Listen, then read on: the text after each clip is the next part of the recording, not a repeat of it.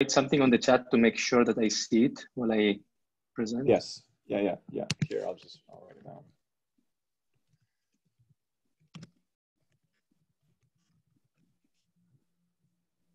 Um, okay, so I did not see that. I need to open the, okay, so, okay, I'll, I need to open the, uh, the window. Okay. Okay. Uh, you can Right. also, uh, if So- you're ready, to, uh, if you're ready anytime to take questions, you can also let me know and I can ask the questions for you.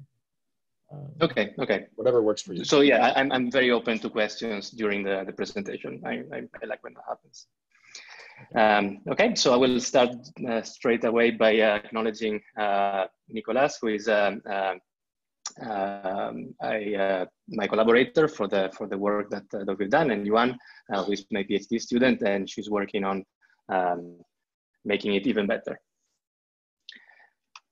So today we will uh, uh, cover first. I, I know that uh, not everyone is an expert, so I want to uh, to give you a simple introduction to quantum optics, or at least to the things that uh, are necessary to understand uh, to understand this work. Um, and then I will present the um, our algorithm, which is a recursive uh, algorithm for simulating Gaussian gates and what they do uh, to uh, to Gaussian states and to uh, other states of light. Um, and then uh, we will go into the uh, the, the further step, which is the differentiability of this algorithm. So uh, I will talk about uh, gradient-based optimization, and then I will uh, present the, the uh, differentiable version of the algorithm for optimizing Gaussian gates. So not only we are able to, um, uh, to simulate uh, these gates, but we, we can also, since they're parameterized gates, that we can tweak the parameters uh, to optimize um, whatever uh, objective function we define. So the big picture is to have a, um, a fast differentiable simulator. And so you, you can see here we have uh, some input quantum states. We have some uh, uh, uh, circuit that is parameterized. Here I just wrote theta, but I mean we have we can have um, a lot of parameters. Um, and then we have some output, which then depends on, on the parameters. And what we do here is we evaluate this output and depending on uh, how happy we are and, and what we can do to make it better, uh, then we can um, uh, run the same simulation with a different set of parameters. And so there will be this loop uh, that goes back and forth between the, the simulation of the uh, of the uh, gate of the of well of all the gates that make the circuit, um, and then this estimation and evaluation of new parameters. And the applications for for this um, for this type of, of, of algorithms uh, that at least the ones that I have in mind are, uh, for example, having uh, automatic design of new devices. Um, I imagine a situation where um, we would like to have some quantum device that uh, can perform some type of transformation. And all we have to do is to, is to tell the optimizer what we would like the device to do. And then the idea is that the optimizer comes up with, uh, with the right design and you know which interactions uh, should go where and which optical modes should um, interact with which other ones and how. Uh, and so all of this design uh, in principle should be uh, automated. And then we can also uh, simulate quantum algorithms. I, I guess um, some of you have recognized the similarity between uh, the picture here and variational quantum algorithms where we have a real quantum device um, that performs some um, uh, transformation of input quantum states, and then uh, we make a measurement actually on the output, so we don't have access, like in this simulation, to the whole uh, wave function. Um, but nevertheless, there is this, this loop between a quantum operation on quantum states and a classical computation. And so because our uh, uh, simulator is particularly fast, we can also simulate uh, quantum algorithms to a, in a bigger scale.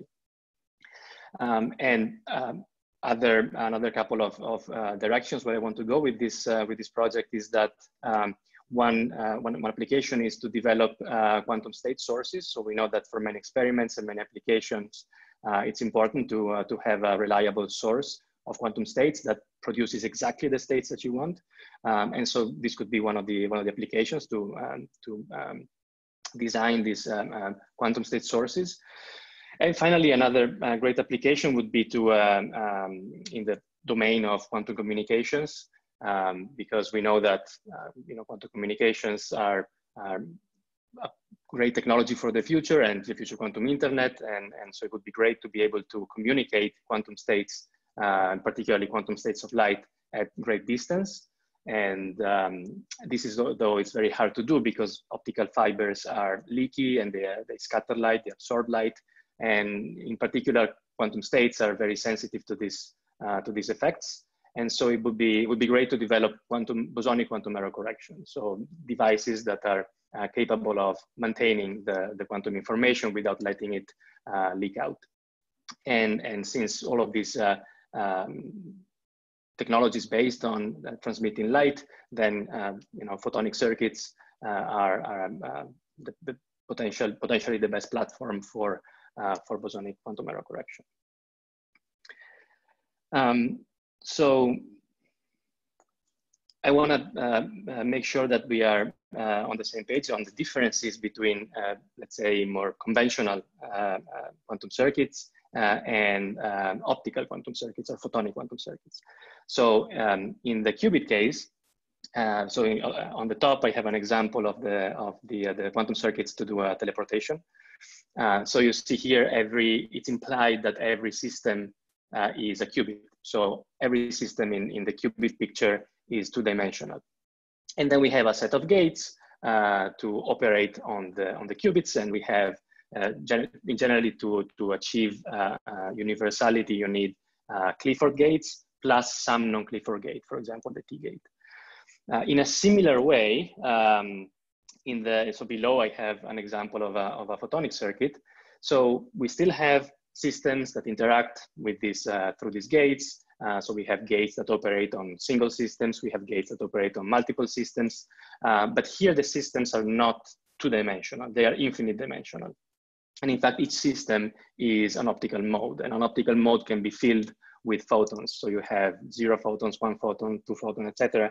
And th that uh, um, set of states makes a basis for an infinite dimensional Hilbert space.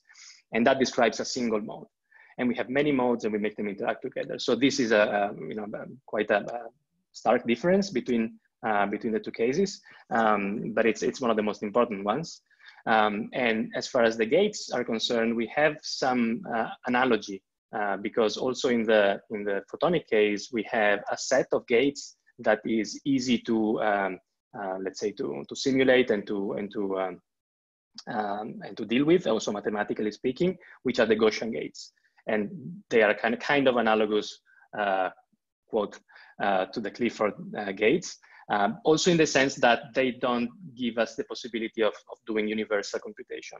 But as soon as we add something that is non-Gaussian, like the Kerr gate, for example, uh, then we, we do, then we have that ability of doing universal computation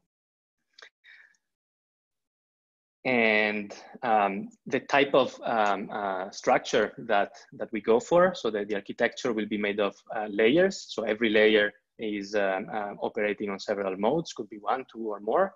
Um, and uh, the architecture of, its of each layer is fixed and it's uh, represented below. So we have here, I, I will explain more in detail in, uh, in the coming slides what exactly these, these interactions are. but just to give you an idea, we have uh, two mode mixers that are sandwiching uh, a series of uh, single mode squeezers. And then there is a, a, series of single mode displacements and then a series of single mode Kerr interactions. Um, and I want to point out, point out that this structure also uh, is reminiscent of a, of a classical dense neural network because um, we will see that all of the operations in each layer, apart from the last one, apart from the, from the Kerr gate, are linear transformations, and the Kerr is nonlinear. And this, this reminds us of the, uh, of the structure of a dense neural network where we have uh, um, a linear transformation followed by nonlinear activation in each, in each of the layers. And I think it's also for this reason that this type of architecture is, is able to give us the, the most general type of circuits uh, in the most uh, compact way.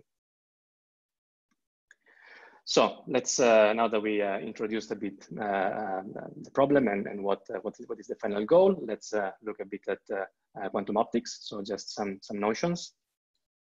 Um, and one of the most important ideas in quantum optics is to start from the classical optics, so the classical picture of, of, from the electromagnetic field. Um, and, and let's try to define what these optical modes are. So the, um, each optical mode uh, is defined as soon as we define uh, uh, the properties of the electromagnetic field. So the, the, the, electromagnetic field has properties that are related to space, so the, the 3D uh, space, uh, to frequency uh, and time, and to polarization. So in this example, if, if we say that we have a pulse that is Gaussian shaped, for example, in, in space, uh, we can say, for example, that it's monochromatic, and we can say that either uh, in the in the frequency uh, domain or in the time domain. Uh, and then, for example, we can say that it's let's say vertically polarized. Then, as soon as we have identified these properties, then uh, we have we have also identified an optical mode. And so, optical modes are uh, states are, are well, they are um, ways of being of the electromagnetic field.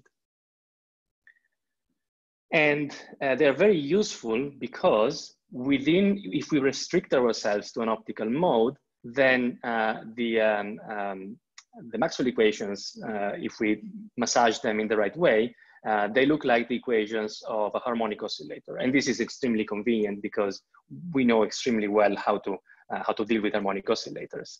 Um, they, they occur everywhere. Uh, we have, for example, if you look, so on the left, we have the um, these, um, um, equations for the uh, real and imaginary part of this quantity alpha, which is a combination of uh, the vector potential amplitude. That's why I said that you need to massage things a bit. Uh, but once you do that, uh, you have these differential equations that look exactly like, for example, the equations of a mass on a spring or an RL circuit. Um, and so in this case, obviously the, the, the quantities that are uh, changing with time are completely different, but the structure is the same. So we have as I was saying, the real imaginary parts of this uh, of this uh, um, mode function.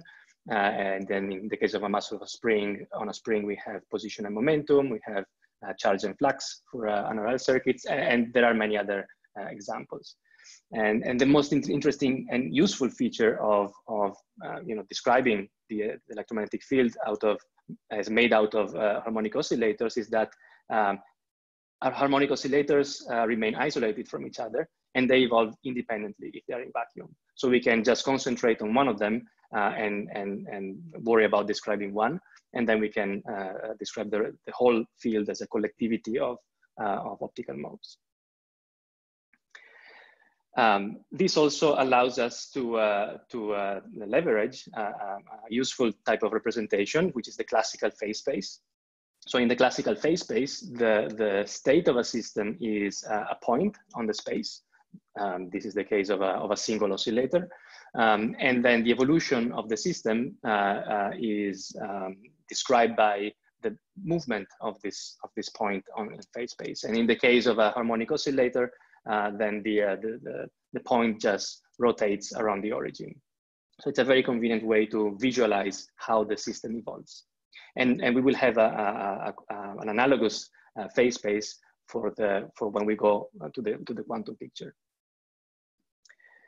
And now we go to the quantum to the quantum picture. And what I'm going to do is uh, I'm going to do a quantization uh, uh in. Uh, I'm to do Dirac quantization, and this is really kind of magic because if you think about it mathematically, what is happening is that we are replacing real numbers like real quantities uh, with operators. So we are uh, you know, like expanding the, the, the size of the, of the, of the whole um, theory by introducing a lot of, a lot more degrees of freedom. Um, and the only justification that we have for it is that it works. So what we do now is we say, well, uh, the quantities that we have found are analogous to uh, those of a harmonic oscillator. So let's replace them by uh, XMP, the, the, the, position and momentum operator of a quantum harmonic oscillator, and we enforce uh, a commutation relation.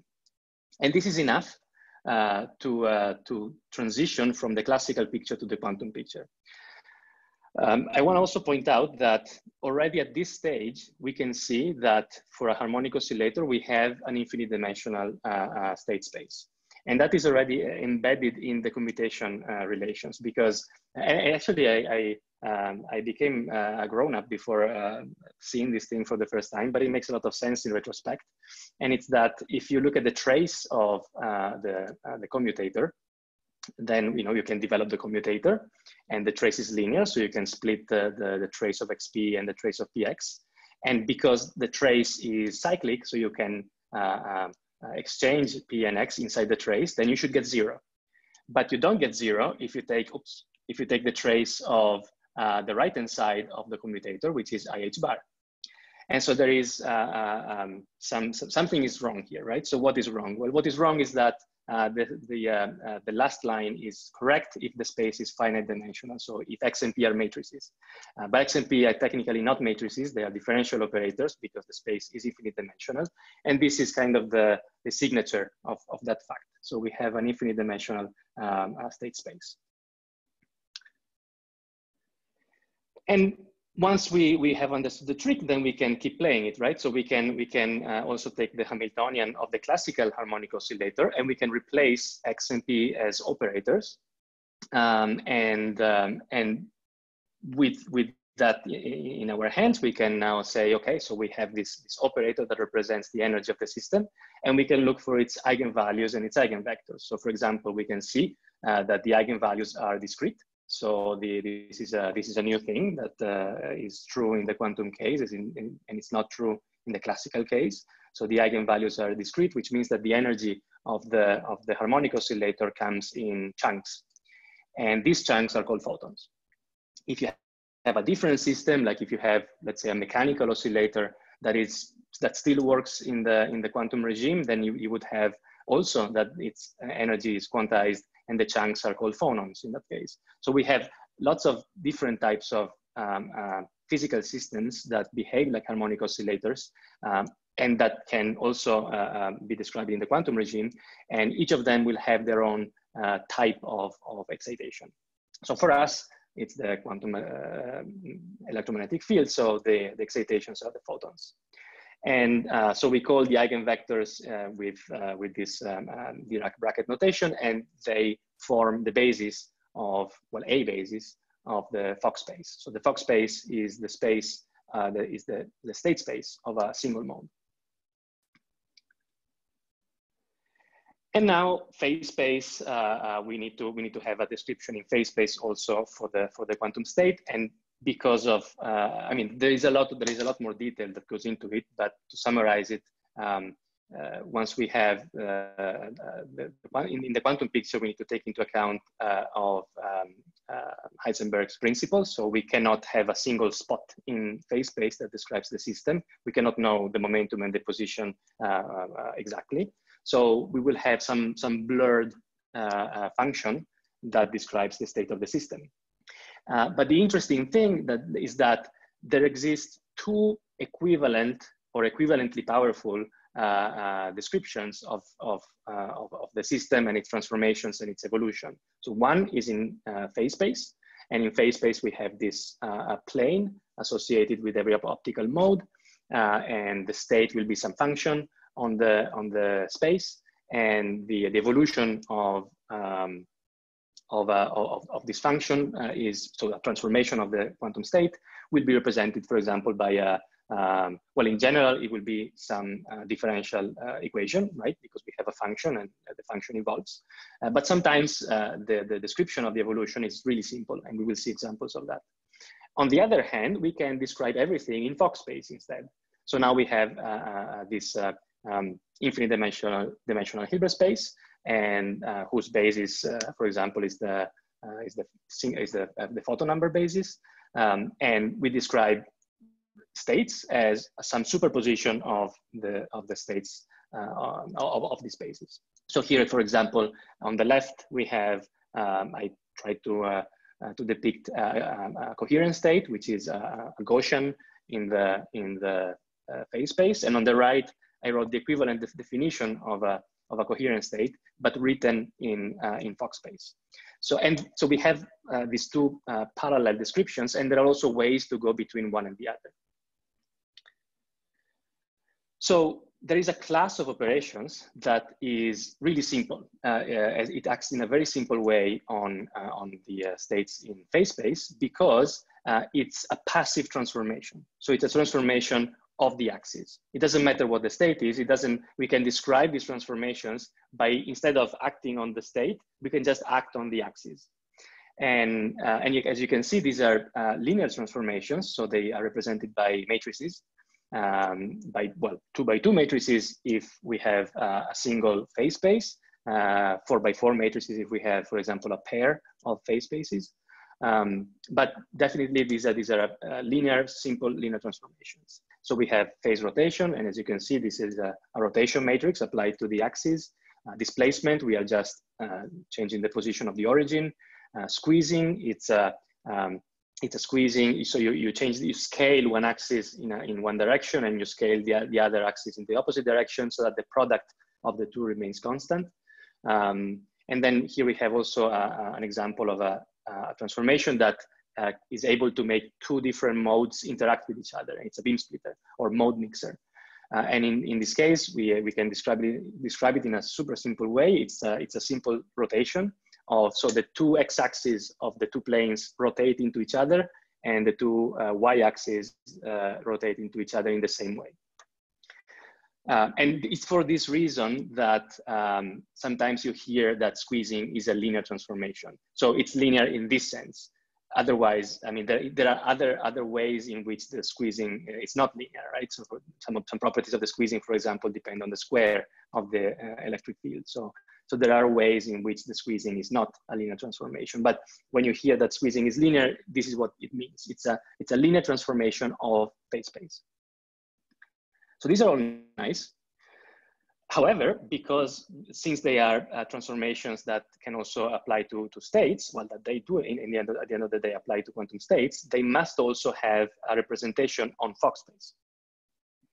And, in fact, we can represent them also as operators on Fock space and phase rotation, for example, is uh, the, uh, by the way, they're all exponentials of some operator.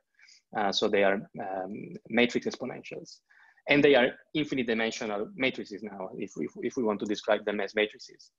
Uh, so not not two by two anymore but infinite by infinite uh, um, matrices.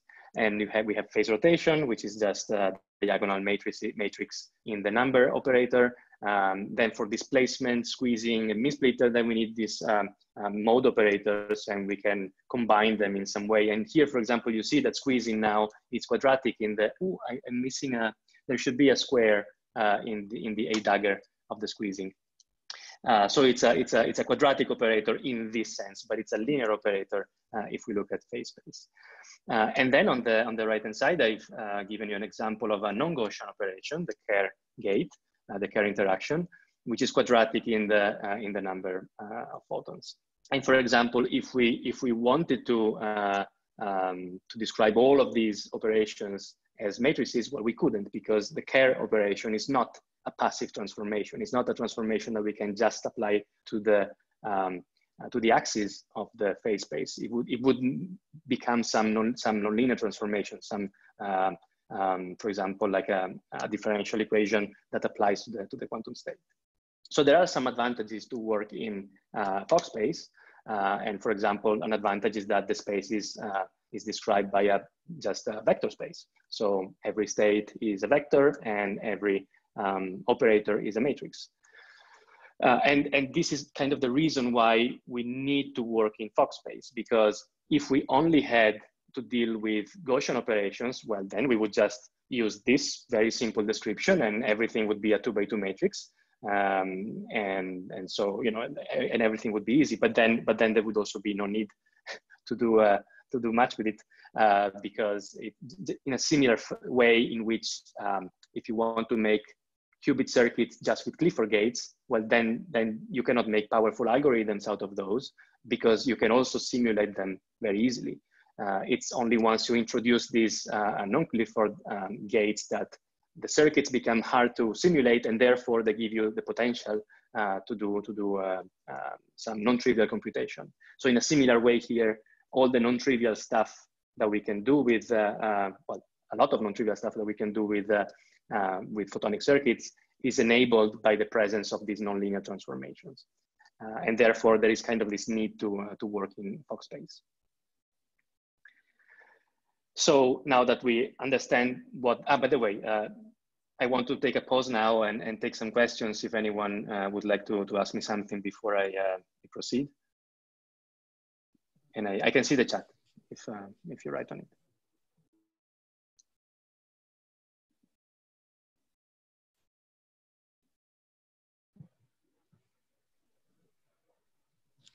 Okay, maybe for, uh, we'll have questions afterwards. Mm -hmm. Okay. So, um, so when I say simulation of gates, I mean simulation in the. Um, when you say infinite dimensional, in what sense is this infinite?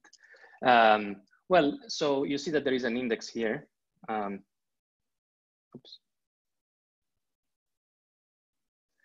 So n, uh, it's it's the index that in that um, that um, describes which eigenvalue or with or how many photons we are considering, and it's infinite in the sense that there is no reason to to stop. Like if if n is a million, well, there can be also be a million and one photons. Uh, so in in that sense, is it's infinite. I think it's not actually going to be infinite at some point you may you make a black hole but uh, i mean if if you know if we take this level of, of uh, abstraction, then it's, it's infinite in that sense.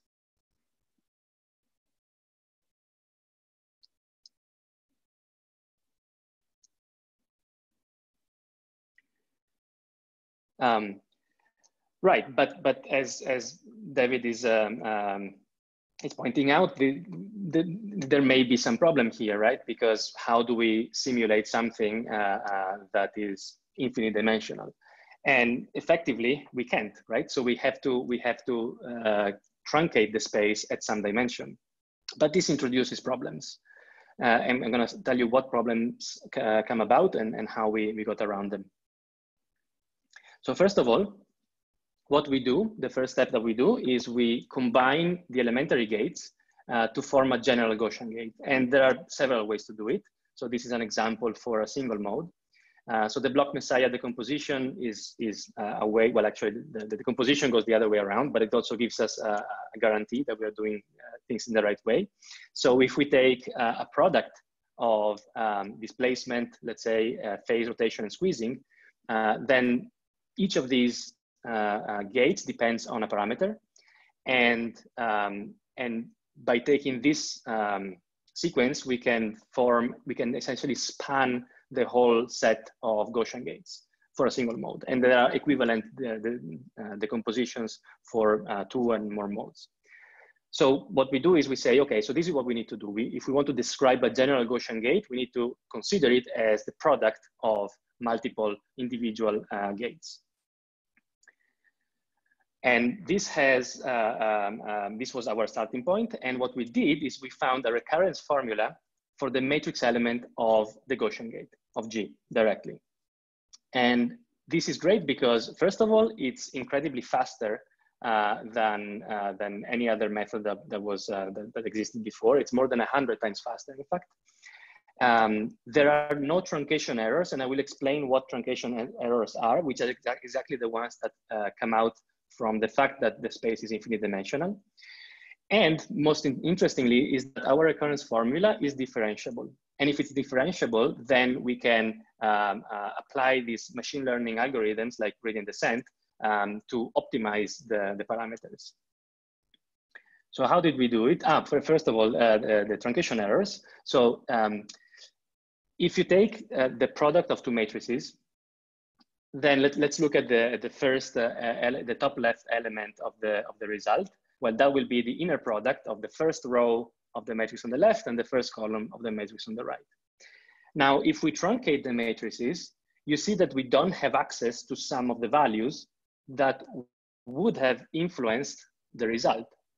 And so if we, if the, and, and, and there is no right way to do it if you have infinite dimensional matrices, whatever uh, truncation size you pick, you will always be neglecting some of the values.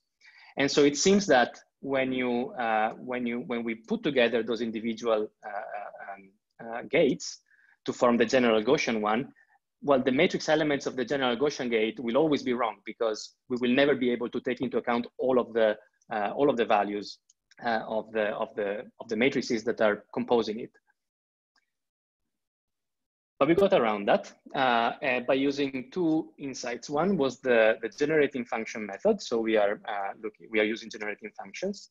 Um, and the other one is uh, a result that uh, was really unexpected. Uh, um, and, um, and, and I, found that you can define uh, um, derivatives of the exponential function in a recursive way. And so if you have a, the exponential of any function, um, a multivariate function, you can define multivariate derivatives of any order uh, in a recursive way. And this turns out to be extremely fast. So first of all, let me uh, um, remind you what a generating function is. And I think that the best way to think of a generating function is as a container for a sequence. Let's say you have a sequence of numbers, a n, a sub n. Um, then you can use it to define a function. Uh, so for example, you can write a function as a power series by using that sequence. Um, and G now is the generating function. And, it, and it, inside of it, it contains the sequence. And so if you want to go from the generating function back to the sequence, you just differentiate an appropriate number of times uh, and you evaluate the result in zero. And that gives you the uh, um, back the, your, your sequence. So it's a, it's a container for, for a sequence. And the other result is that um, uh, the higher order derivatives of, well, any order derivatives of an exponential function can be found recursively. And this is an example for, uh, for a, a, function of a, single variable. So if you have e to the f, then if you define the nth derivative as y sub n, then you can find the next one uh, by taking an appropriate combination of all the previous ones. and you use also the derivatives uh, of the exponent only. So f uh, with j in parentheses is the jth derivative of f. So in particular, if f is a polynomial, let's say f is a polynomial of order k, what happens? If you want to, if you look at those f, uh, those jth derivatives of f. Let's say k is two,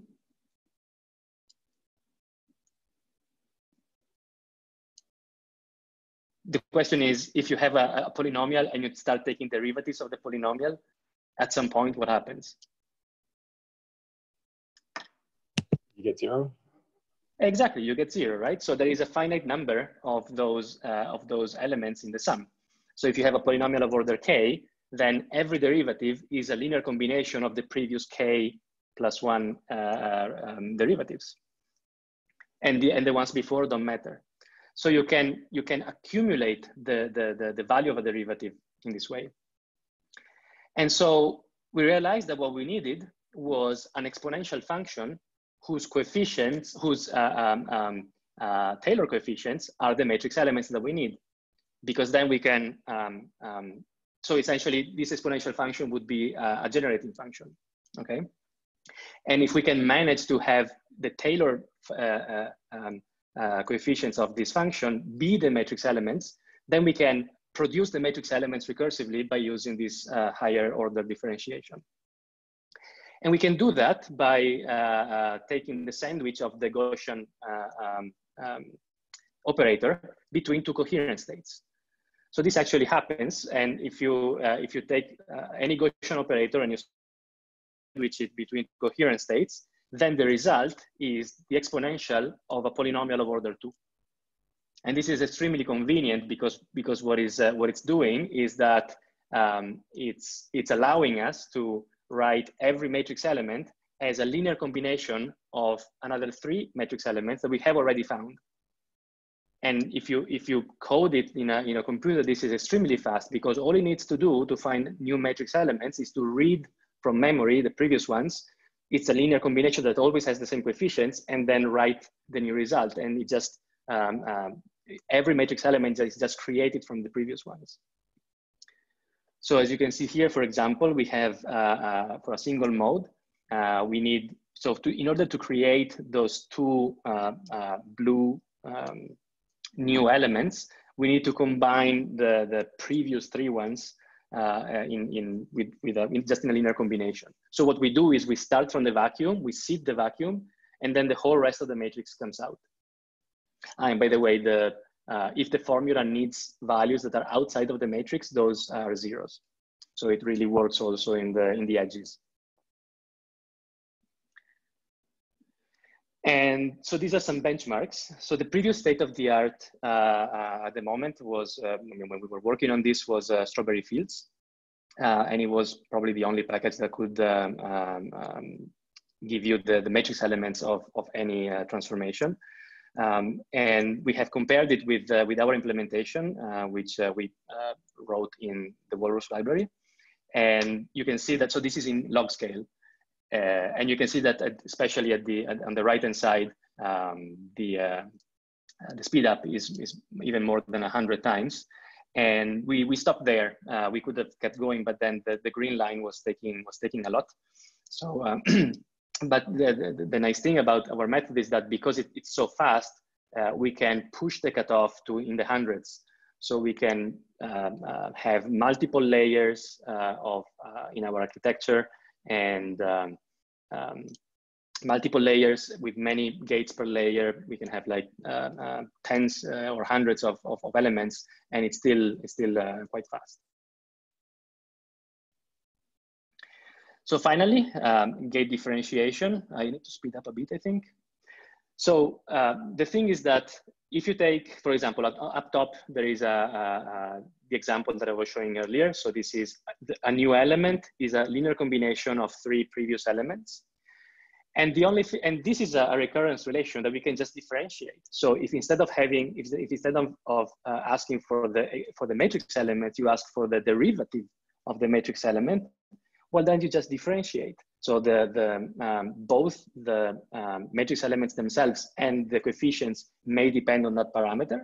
And so in general, you, you differentiate um, the formula, uh, the recurrence formula, and you get a new recurrence relation for the gradient of the gate. So it's a, it's a, it's trivially differentiable. And so what we can do now with this differentiable uh, uh, formula is that we can uh, apply gradient descent. And the idea here is that we can uh, take the output of the, of the circuit that will depend on the parameters, and we can evaluate a loss function. And if you look at it, the loss function is just is the loss function of the product between the, the circuit uh, transformation and the initial state. And then what we do is we, our goal is to decrease the value of the loss function, and then we just do gradient descent. So uh, we replace the, um, uh, the value of the parameters by the value of the parameters minus uh, the gradient multiplied by, by some learning rate. And so the gradient is the direction of steepest ascent. So we want to subtract that because we want to go, we want to, um, to um, decrease the value of the loss function. And I think you may, may have noticed that I wrote dl by d theta star. And, and that's because our parameters may be complex numbers. And when you want to do gradient descent with complex parameters, then uh, the, um, the steepest descent is given by the gradient with respect to the conjugate of, of the parameters. If, if they happen to be real, then it's the same formula, but if they're complex, uh, you need the, you need the, um, um, the conjugate. Small detail, but important. Um, and so what we can do is we can apply the chain rule. And this is an example where we have a, a single, uh, a single gate, a single, sorry, a single layer. Um, and so if we want dl by d theta star, then there are two ways to reach theta star. And so we need to sum the two branches. And so um, um, we have, as you can see, we have uh, L is a function of uh, psi, but psi itself is uh, the product of G and the input. And so we have the, the L by the psi, that's fixed, that's determined by our definition of the loss function. Um, d psi by dg is the input state, right? If you take the output and you differentiate it by, by g, you just get the input because it's a simple product. Uh, and then we have dg by the uh, theta star, and that comes from the recurrence relation. The other path is to go through uh, dl by the psi star because very likely, actually this happens all the time, the, the loss function is defined with some absolute value squared um, of, the, um, uh, of, the, of the output state. And um, or it's related to it in some way. And the absolute value squared is the state times the state conjugate. And we need to treat those two as, as independent quantities. And so we have this other uh, branch to go to, uh, to, to theta star. And so we have dl by d theta star, d theta star by the G star, the G star by the uh, um, theta star. So we have uh, this, this way of applying the chain rule that allows us to go from the output of the, of the uh, circuit all the way to the parameters. Um, and then this is back propagation. And then we have the gradients and we can update the parameters. And so now I wanna show you a quick demo because nothing can go wrong when you do live demos. So I'll change to this. So I hope you can see my, my browser. This is Jupyter Notebook. Um, so um, what we're doing here is we are, so um, uh, my, um, uh, my, student and I wrote a, a library to uh, to uh, um, define these circuits and how many layers you want. And so, for example, let's say that we uh, that we set up a cutoff of 20, and so which means that we are um, uh, considering uh, up to 20 photons. Um, we have a single mode. Let's say that we use eight layers, um, and we define the input as just the vacuum. Okay, so we have a vector of zeros, and we replace in the first entry we, we put a one, so that's the, the vacuum state. Um, and let's say that we want a circuit that produces a single photon, as a clean single photon starting from the vacuum. So then the state out would be would have a one in position one, right? So that, that's a, a single photon. And so what we say is that we tell the circuit that if, if we have this input, we want this output. And uh, so this is a, a, a initially this, the, the circuit is, is random. So what we see here is the output of each layer. Uh, and so we start with the vacuum and pretty much everything remains in the vacuum because all the parameters are initialized very close to zero. So it's as if each layer doesn't do much. Um, and now what I'm gonna do is I'm gonna use, let's say 500 steps uh, of this optimization. And as you can see, it's, uh, it's pretty fast and the loss function is one minus the fidelity. Uh, and so here we have already a fidelity of 99% uh, and it's uh, asymptotically uh, getting better and better. Um, it will be done in a second. This used to take a lot longer before. And now we can see that as uh, the state evolves through the circuit, layer by layer, it becomes more and more uh, uh, closer to the objective, which is that of a single photon. And in fact, at the output, we do have the probability, probability one of having a single photon. We can also do this concurrently, so we can define multiple uh, uh, pairs of inputs and outputs. Um, and so we can, we can concurrently optimize uh, several inputs and several outputs. So I'm gonna go back to my slide. And let me uh, conclude. Um, so what we have done is we have developed this new and significantly faster optimization algorithm for photonic circuits, optical quantum circuits. Um, we are not working on improvements, uh, for example, because I mean, uh, now I was using Adam, the Adam optimizer, but what we want to do is we want to develop things related to, uh, to the, natural gradient uh, and the algorithmic gradient. So these are ways to take into account the, the topology of the, of the space of parameters. Um, and we want to apply this optimizer to real problems. Uh, for example, finding error mitigation and error correction circuits uh, for, uh, uh, for, for optical um, quantum computing. We want to design one-way quantum repeaters, as I was mentioning at the beginning, and we want to design reliable and simple state sources. And with that, I want to thank my collaborators again, and thank you all for, for your attention, and I'm very happy to take, to take questions. Great, thank, Thank you very much, uh, Filippo. So the floor is now open to questions. You're welcome to post questions in the chat or just unmute your microphone and uh, ask them over the audio. Hey, um, so I actually had a question about um, the optimization. So you mentioned you're doing um, that you have like two branches for for doing it, one with phi and one with phi star for doing the gradient. Um, yes. And is is this done explicitly or through like TensorFlow's um, like ah, automatic? Ah, uh, good question. So um, right. Um, so well, I mean, we are we are um, um, basing what we do on TensorFlow, and uh, TensorFlow um, is especially good for this because so for example, we had tried with JAX uh, but it wasn't playing well with non-holomorphic functions. And the thing is that we do have non-holomorphic functions, um, but we need to explicitly so we need to customize the gradients of the gates.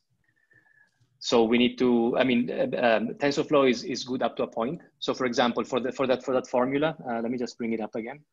Um,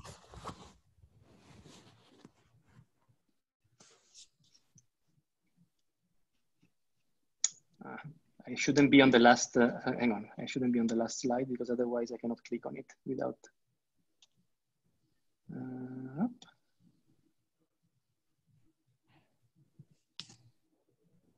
just one sec.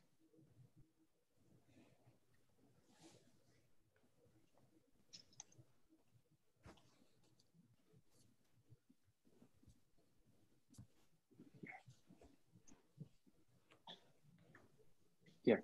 Um, so the first term, the, that dl by d psi and dl by d psi star, those can be given to us by, uh, by TensorFlow because they are just a complex conjugate of each other. So TensorFlow actually gives us the second, it gives us dl by d psi star. Mm -hmm. uh, because it knows that that psi is a complex number, so it already knows that the gradient should be the, the gradient with respect to the conjugate. Um, and all we do is we take the, the conjugate of that and we get dl by d psi.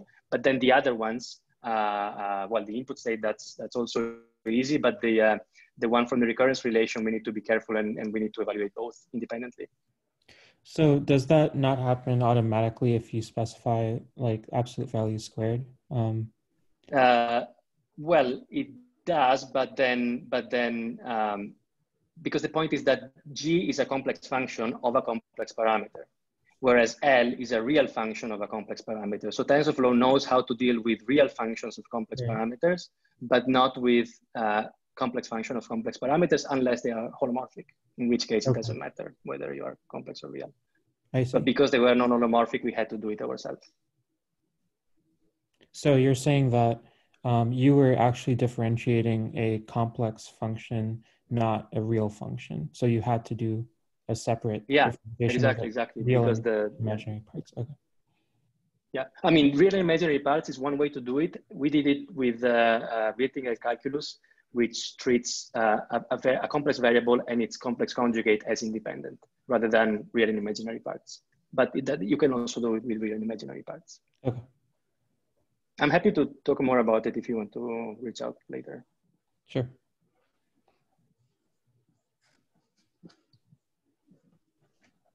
So, so I had a question. I was wondering if you could comment a little bit more on the, the use of optical modes in your simulation. So you said um, that you just set one optical mode. And what, what happens if you have more than one optical mode? Or can you optimize between modes? Like, oh, well, ah, yes, yes. Yeah, yeah, yeah. So, mm -hmm. well, the, the, the circuit will be different. The architecture will be different mm -hmm. because the layers, so the, the, the, the structure of the layers depend on, depends on the number of modes uh, because you want to be able to write the most general transformation for those, for those modes. So in the case of a single mode, it's sufficient to use uh, displacement, rotation, phase rotation, and squeezing. For a, uh, uh, I had it actually at the beginning. Uh, if you have, for example, two modes, then, uh, or, or multiple modes, then the general shape, I mean, architecture of a layer would be to have a mode mixer, single mode squeezers, mode mixer again, single mode uh, displacement and single mode Kerr. So once we decide how many modes we want to optimize, this architecture is, is fixed. And then, then you just say how many layers you want. And but could you can you can your input and output states be across different modes? Does that affect your optimization anyway or not? Oh, you can be across different modes. Uh, I mean, what it, it, it depends how you define your, your loss function at the end. I mean, you, it's okay. a physical device. Okay. It simulates a physical device. So there will be something coming out of every mode. It could be the vacuum. It could be uh, another state. It could be something that you want to trace out and not care about. Um, it all it all depends how you define your loss function. Okay, I see. Okay.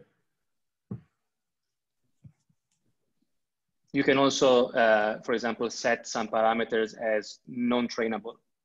So for example, if you don't want a certain gate, you, you set the parameter to zero, you say it's not trainable, and that's as if it wasn't there. Okay. So you have some flexibility.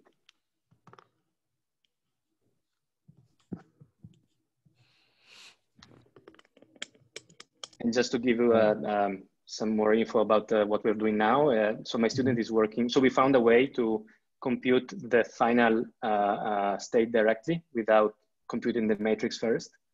Um, and so we have a faster way of, of, um, of computing the, the, evolution of the state through a, through a, a Gaussian gate. I have a, a, recurrence, a recurrence relation to find directly the final result without having to build the matrix and then take the matrix vector product. Mm.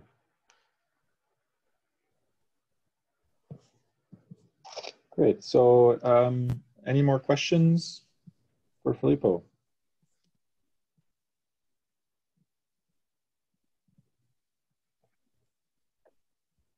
All right, well, if not, let's all thank Filippo for uh, the great seminar today. Um, again, uh, Filippo, maybe if you want to post your email in the chat, if people have questions they want mm -hmm. to follow up with you, sure. they can send that to you. Yes. Uh, I'm going to stop the recording, and um, but feel free to ask something uh,